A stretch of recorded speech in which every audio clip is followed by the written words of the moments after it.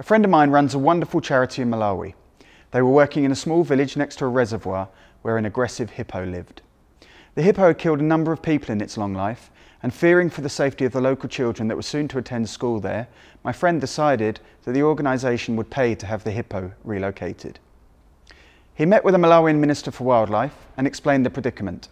He suggested that the hippo be moved to a sanctuary or game park or some such lovely retirement home. The minister looked him in the eye, shrugged, and said, Just shoot the hippo. It will save us all the bother. He then turned round to continue his work developing policy. My friend left in disbelief. Please don't worry, the hippo in this story was unharmed.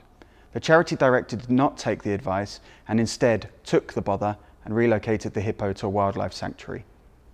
Many years ago, when my friend first told me this story, I was appalled. How could the minister be so heartless? How could he be so cruel?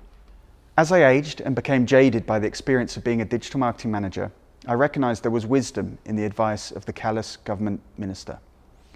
I have come to better understand the minister's no nonsense approach. There have been countless times when sat in meetings that the phrase, just shoot the hippo, has rung loud and clear in my head. It's stuck with me and become a wayfinding beacon to which I return when projects have become strung out and lost.